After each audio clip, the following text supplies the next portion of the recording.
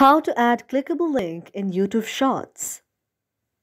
If any day you are YouTube user and you would like to add a clickable link on your YouTube Shorts, if any of you are YouTube content creator, just follow the following steps. For this, first of all, you must have the YT Studio on your mobile device. If you have already installed the YT Studio from the very Google Play Store, you have to tap on YT Studio like this. And this way, YT Studio will be launched on your mobile device.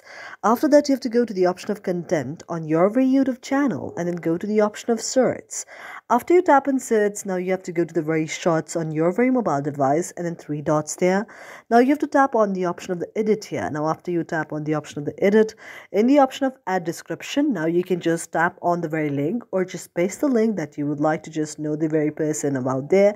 And then when you paste it there on the add description, now the various people when they find it, they can just tap on the very link which is clickable link on YouTube Shorts. Thank you for watching our video and if you really like it, do not forget to subscribe our channel.